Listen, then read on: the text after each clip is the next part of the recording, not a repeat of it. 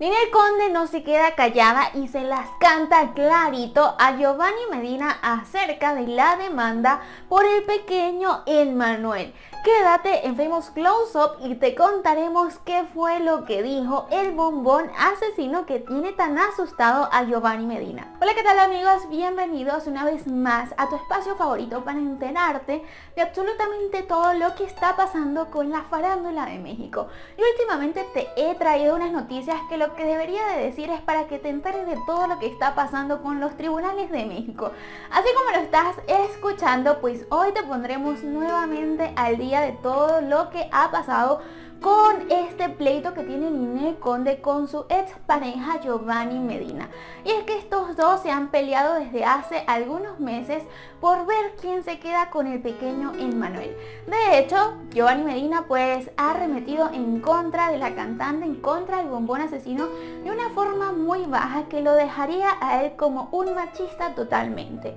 La semana pasada te comentamos que nos enteramos que Giovanni Medina pues estaría diciendo en los tribunales mexicanos que Ninel Conde no es un buen ejemplo para el pequeño Emmanuel, ya que según él es una mujer de la vida alegre y también él no estaría muy convencido de que Ninel Conde pues tenga amigos con orientaciones sexuales hacia su mismo sexo.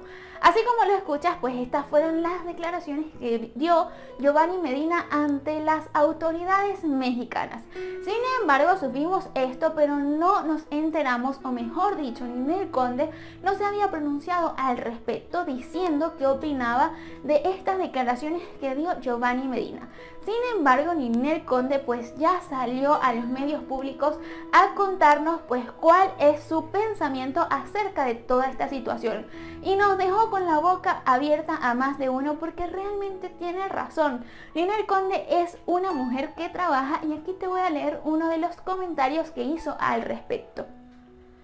Ahora resulta que las mujeres que trabajamos y tenemos que viajar constantemente no somos aptas para la crianza que por tener un trabajo que se desenvuelve la mayoría de noche es malo para nuestros hijos porque según esto hay alcohol y homosexuales.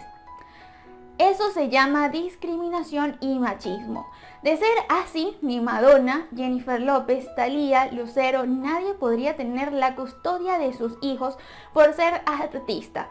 Dios es justo y fiel. Yo tengo paz porque creo en lo que aún no veo, pero sé que vendrá justicia de Dios y los hombres. De hecho, amigos, estas serían las declaraciones contundentes por parte de Ninel Conde acerca de todo el problemón que tiene con Giovanni Medina. Y es que Giovanni Medina ha actuado de una forma muy cobarde para ser hombre. La verdad está bastante feo que atente en contra de la voluntad de Ninel Conde llamándola y discriminándola de diferentes maneras. Sabemos que los shows de Ninel Conde generalmente son en bares y a altas horas de la noche, sin embargo es un artista y así se gana su dinero de manera honrada. Pero lo más feo del asunto es que Ninel Conde nos soltó un bombazo acerca de ciertas actitudes que ha tenido Giovanni Medina en contra de la actriz y cantante de forma secreta o de forma muy privada. Y es que Ninel Conde la semana pasada estaba haciendo una entrevista por radio con el programa Todo para la Mujer en el cual ella nos revelaría que Giovanni Medina no solamente la ha agredido de forma verbal, sino también de forma física, por lo cual ella estaría demandando a Giovanni Medina en los Estados Unidos por violencia intrafamiliar.